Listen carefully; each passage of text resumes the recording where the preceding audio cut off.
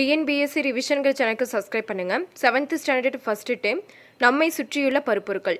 இந்த லெசனில் பருப்பொருட்களுடைய இயற்பியல் பண்புகள் பற்றி தான் பார்க்க போகிறோம் ஃபஸ்ட்டு பருப்பொருள்னா என்னென்னா ஒரு பருப்பொருள் அப்படிங்கிறது ஒரு குறிப்பிட்ட வெயிட்டோ அந்த வெயிட்டுக்கு உண்டான ஒரு இடத்த ஆக்பை பண்ணிக்கிற தன்மையும் கொண்டது தான் பருப்பொருள். ஆனால் எல்லா பருப்பொருளுமே அதே வெயிட்டு அதே இடத்த ஆக்குப்பை பண்ணிக்கும்னா கண்டிப்பாக கிடையாது. இனி இதை பற்றி டீட்டெயிலாக பார்ப்போம். பருப்பொருள்களின் இயற்பியல் பண்புகள் செயல் ஐந்து புள்ளி ரெண்டு. ஒரு சுண்ணாம்பு கட்டிய சிறு சிறு துகள்கள் ஆக்கிக்கவும் இந்த சிறு துகள்கள் சேர்ந்ததான் இந்த பருப்பொருள். இந்த சிறு சிறு துகள்களில் அணுக்களும் மூலக்கூறுகளும் உள்ளது. மூலக்கூறு வந்து அணுக்களால் ஆனது. மேலும் அறிந்து கொள்வோம் அணுக்களும் மூலக்கூறுகளும் மிகவும் சிறியது. இவற்றை நேனோமீட்டர் என்னும் அலகால் அளக்கலாம். ஒரு நேனோமீட்டர் ஈக்குவல் டு பத்து மைனஸ் ஒன்பது மீட்டர். பருப்பொருளின் துகள்களின் பண்புகள் செயல் ஐந்து புள்ளி மூணு. ஒரு பவுலில் கொஞ்சம் தண்ணி எடுத்துட்டு அதில் சர்க்கரையை சேர்த்தோம்னா தண்ணியோட அளவிலையோ இல்லாட்டி சுவையிலையோ ஏதாவது மாற்றம் ஏற்படுதான்னு சொல்லி கேட்குறாங்க இந்த செயல் மூலிமா தண்ணியோட அளவில் எந்த மாற்றம் ஏற்படாது. அதனால் அதனோட சுவையில் மட்டும் மாற்றம் ஏற்படும். ஏன்னா சர்க்கரை வந்து நீரில் கரையும் போது தண்ணியில் இருக்கிற மூலக்கூறுகளிடையே உள்ள இடைவெளியை சர்க்கரை மூலக்கூறுகள் வந்து அடைச்சிக்குது. இதனால தான் வந்து தண்ணியோட அளவு மாறாமல் அப்படியே இருக்குது. இந்த செயல்பாட்டின் மூலம் மூலக்கூறுகளுக்கு இடையே இடைவெளி உள்ளது என்பதை உணரலாம். செயல் ஐந்து புள்ளி நாலு ஒரு பவுலில் கொஞ்சம் தண்ணி எடுத்து அந்த தண்ணியில் இங்கு ஊற்றும் போது என்ன ஆகும்னு சொல்லி கேட்குறாங்க அந்த இங்க் வந்து தண்ணி முழுவதுமாக கலக்குது. இந்த செயல்பாட்டின் மூலம் மூலக்கூறுகள் தொடர்ந்து நகர்ந்து ஒன்றோடொன்று கலக்கின்றன என்பதை உணரலாம். செயல் ஐந்து புள்ளி ஐந்து பைப்பிலிருந்து வர தண்ணியை தடுத்து நிறுத்த முடியுமான்னு கேட்டால் முடியாது. ஏன்னா பருப்பொருள்களில் மூலக்கூறுகளுக்கு இடையே ஈர்ப்பு விசை உள்ளது. இந்த ஈர்ப்பு விசை மூலக்கூறுகளை பிணைக்கிறது. மூலக்கூறுகளுக்கு இடையேயான ஈர்ப்பு விசை பருப்பொருளுக்கு பருப்பொருள் மாறுபடுகிறது. பொருள்களின் நிலைகள் பொருள்கள் திண்மம் திரவம் வாயு என மூன்று இயற்பியல் நிலைகளில் காணப்படுகின்றன. திண்மம் திண்மம் அப்படிங்கிறது குறிப்பிட்ட வடிவம் அளவு பருமன் அளவு கொண்டது தான் திண்மம். திண்மங்களில் மூலக்கூறுகளுக்கு இடையே உள்ள ஈர்ப்பு விசை அதிகமாக இருக்குங்காட்டிக்கு தான் மூலக்கூறுகள் மிக மிக நெருக்கமாக அமைந்திருக்கு. திண்மங்களை பொதுவாக அழுத்த முடியாது. சிந்திக்கவும் பஞ்சு ஒரு திடப்பொருள் ஆனாலும் அதை அழுத்த முடிகிறது ஏன்னு கேட்குறாங்க பஞ்சில் வந்து நிறைய சிறு துளைகள்லாம் இருக்கங்காட்டிக்கு சிறு துளைகளில் காற்று நிரம்பி இருக்குது. பஞ்சு அழுத்தும் போது இந்த சிறு துளைகளில் இருக்கிற காற்று வெளியேறிறங்காட்டிக்கு இந்த பஞ்சை நம்மால் அழுத்த முடியுது. பொதுவாக அழுத்தத்தின் மூலம் திடப்பொருட்களின் வடிவத்தை மாற்றுவது கடினம். மேலும் அறிந்து கொள்வோம். பருப்பொருட்கள் வந்து மேலும் ரெண்டு நிலைகளில் காணப்படுது.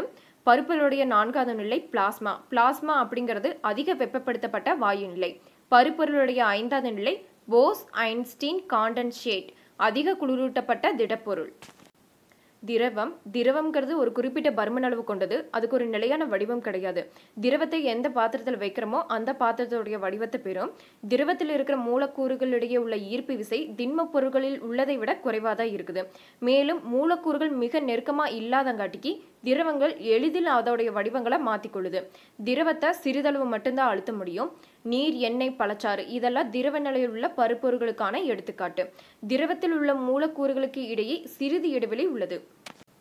வாயு வாயு அப்படிங்கிறது ஒரு குறிப்பிட்ட பருமனோ வடிவமோ அது கிடையாது. வாயுக்களில் மூலக்கூறுகளுக்கு இடையே உள்ள ஈர்ப்பு விசை மிகவும் குறைவு. அதனால் மூலக்கூறுகளுக்கு இடையே உள்ள இடைவெளி மிகவும் அதிகம். ஒரு பலூனில் வாயுவை நிரப்பும் போது இடைவெளி அதிகமாக இருக்குங்காட்டிக்கு தான் அந்த வாயு அந்த பலூன் முழுவதும் பரவி காணப்படுது. வாயுக்களை மிக எளிதாக அழுத்த முடியும். அழுத்தப்பட்ட வாயுக்களுக்கு எடுத்துக்காட்டு எதுனா நம் வீட்டில் பயன்படுத்துகிற எல்பிஜி ரெண்டாவது மருத்துவமனைகளில் பயன்படுத்தும் உயிர்வலி இப்போது வந்து இன்றைய காலகட்டத்தில் அழுத்தப்பட்ட இயற்கை வாயு போக்குவரத்து வாகனங்களில் பயன்படுத்தப்படுகிறது. டெல்லியில் பேருந்துகள் சிஎன்ஜியில் இயங்குகின்றன.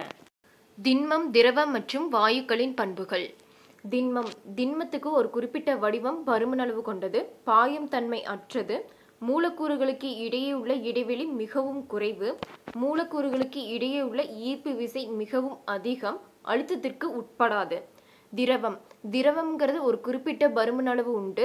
அதுக்கான வடிவம் கிடையாது. உயர்ந்த இடத்திலிருந்து தாழ்வான இடத்திற்கு பாய்ந்தோடும் மூலக்கூறுகளுக்கு இடையே உள்ள இடைவெளி குறைவு. மூலக்கூறுகளுக்கு இடையே உள்ள ஈர்ப்பு விசை திண்ம பொருளை விட குறைவு.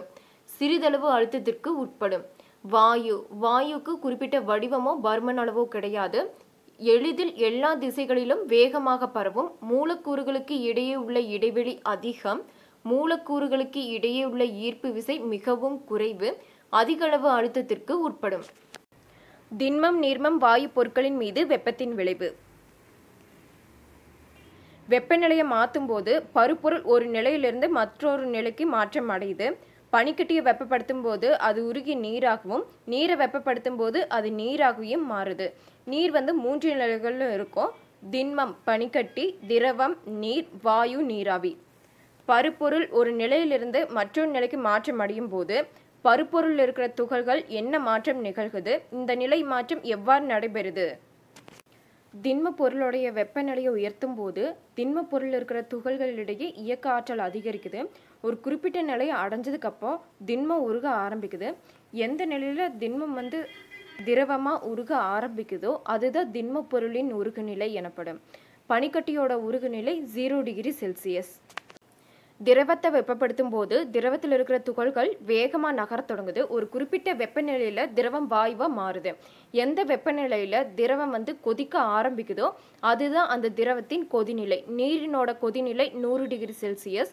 திரவத்தில் இருக்கிற மூலக்கூறுகள் அதிக வெப்ப ஆற்றலை பெற்று ஆவியாக மாறுது. மதிப்பீடு பொறுத்துக திரவத்தை வெப்பப்படுத்தினால் ஆவியாதல். திண்மம் பாயும் தன்மை இல்லை. அணுக்கள் மற்றும் மூலக்கூறுகள் பருப்பொருளின் அடிப்படை கட்டமைப்பு. பால் திரவம் வாயு எளிதில் அழுத்தலாம். சரியான விடையை தேர்ந்தெடுக்க.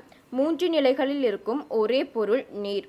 மூலக்கூறுகளுக்கு இடையே மிகவும் குறைவான இடைவெளி உள்ள பருப்பொருள் திண்மம். ஒரு நேனோமீட்டர் என்பது பத்து மைனஸ் ஒன்பது மீட்டர். கோடிட்ட இடத்தை நிரப்புக. வாயு மூலக்கூறுகளுக்கு இடையே உள்ள ஈர்ப்பு விசை திண்மத்தை விட அதிகம். திரவ நிலை குறிப்பிட்ட கொள்ளளவு கொண்டது. ஆனால் வடிவம் கிடையாது.